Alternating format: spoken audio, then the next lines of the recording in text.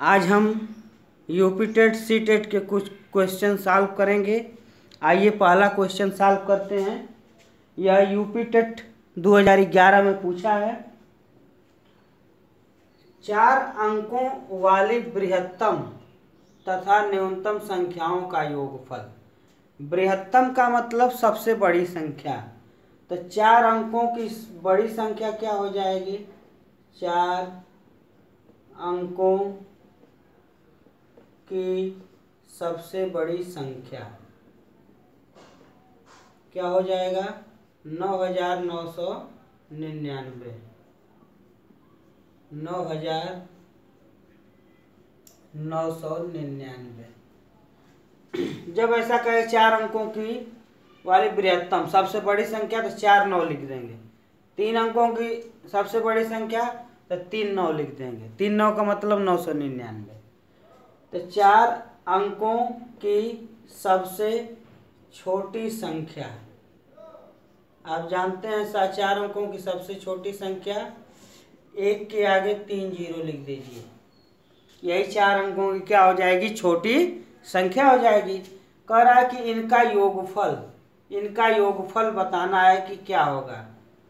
तो चार अंकों की सबसे छोटी संख्या, चार अंकों की सबसे बड़ी संख्या, इनका योगफल कर दिए तो नाइन नाइन नाइन और यह क्या हो जाएगा?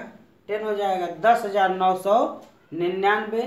तो ऑप्शन नंबर सी क्या हो जाएगा? आपका करेक्ट हो जाएगा। आइए दूसरा क्वेश्चन देखते हैं।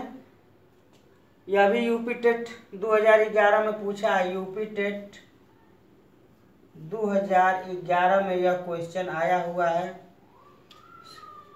शुरू में तापक्रम 18 डिग्री सेंटीग्रेड बढ़ता है, फिर 23 डिग्री सेंटीग्रेड घटता है।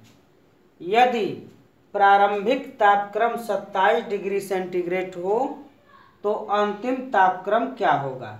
तो आपको देखिए यहाँ पर दे दिया है, प्रारंभिक तापक्रम। तो आपका प्रारंभिक तापक्रम क्या है?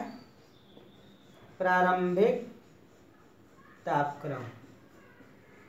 आपको दे दिया है प्रारंभिक तापक्रम, क्या दिया है? सत्ताईस degree centigrade.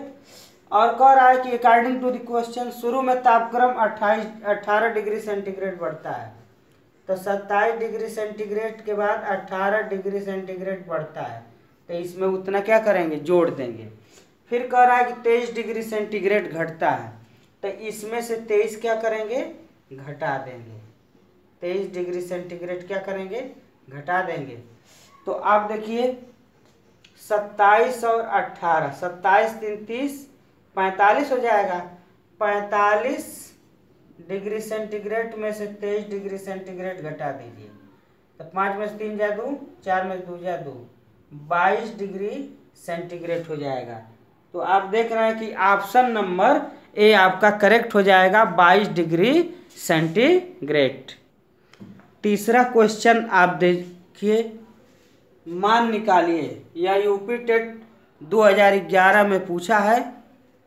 Minus two into minus three, minus four into minus five into minus six.